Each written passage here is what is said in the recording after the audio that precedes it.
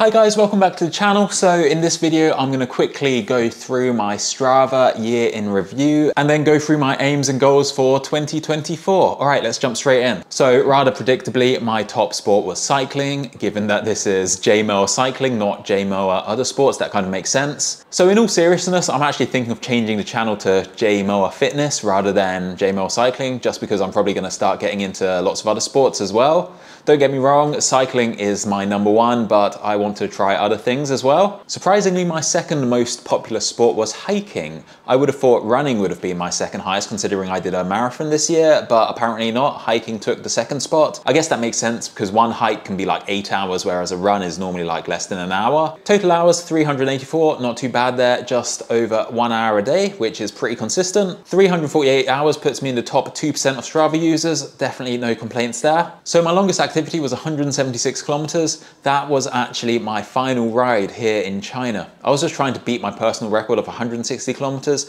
In the end, it wasn't too difficult actually. Hopefully in 2024, I can break the 200 kilometer barrier. Total distance, 6,062 kilometers, pretty similar to 2022 as well. I thought this would be quite a bit lower considering what's happened this year. I had a few months off in the summer for the summer holiday and going traveling and also in January, I was out with COVID for quite a bit, so not too great. Total elevation gain, 52,000 meters. Again, pretty standard.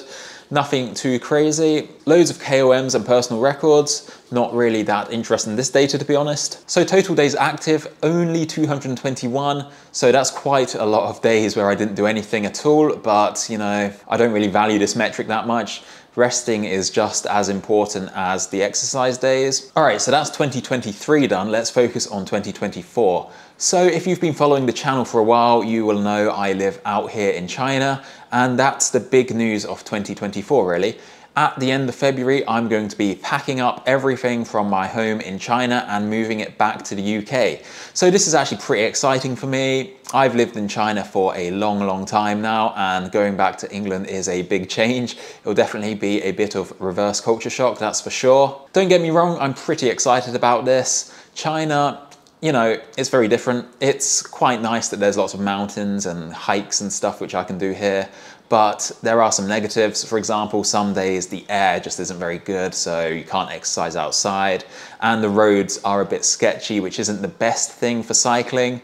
Overall, I feel like going back to England is probably better for exercise and outdoor activities. So I've already shipped my bikes back to England, which means I've got two months here in China without a bike, which leads me on to the next thing. So in England, I'm going to be able to sign up for a lot more activities and events, the first of which is going to be a half marathon in March. So given that I don't have any bikes, I need to keep myself active, so I'm gonna be going back to running. So a half marathon is a thing I've done a few times before. It's not particularly difficult for me to complete a half marathon now. I'm pretty sure given my level of fitness, I could just get out and run one tomorrow. It probably wouldn't be particularly pretty, but I could force my way through it. So for this one, I'm going to aim for a specific time because I want to push myself to get faster. My previous half marathon was just under two hours, but for this one, I'm going to follow a proper three month training plan and I'm gonna aim for a time of one hour and 45 minutes. So 15 minutes quicker than my previous personal record. So hopefully following a proper training plan will allow me to do that. The previous times I've followed a training plan for running, I've always ended up getting sick or having some other issue, which meant I didn't complete it fully. So for this one, I'm gonna really try to stick to it properly. So that's my first event of the year, half marathon in March. My next main goal of the year is to do a triathlon. I've always actually wanted to do a triathlon. If you scroll back through my channel right to the very beginnings, you'll see lots of cringe inducing videos where I'm talking about how I want to do an Ironman. So that is still my long, long term goal. But for this year, I'm going to try and focus on a half Ironman. I feel like having an actual event to work towards will give me a lot more motivation rather than just training for the sake of training. With regards to triathlon, my weakest part is definitely the swimming. I feel like over time I've actually become a competent cyclist and an all right runner, but my swimming is still definitely not that great. Oh, I have a guest here. The cat is back. This is my cat, little Kiki. She's just actually been to get snipped, so yeah, she needs to be prepared to be taken back to England, which is a long, long process. So yeah, I'm sure she'll love the flight back. Anyway, back to the triathlon. Like I said, I feel like my swimming is definitely the weakest part.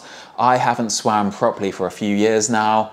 I swam in school, you know, not, um, not in like a team or anything, just because in England they teach you to swim at school. But that's the extent of my swimming really. So as soon as I land back in England, I'm gonna hit the pool, get a few lengths in and try to get my swimming up to scratch.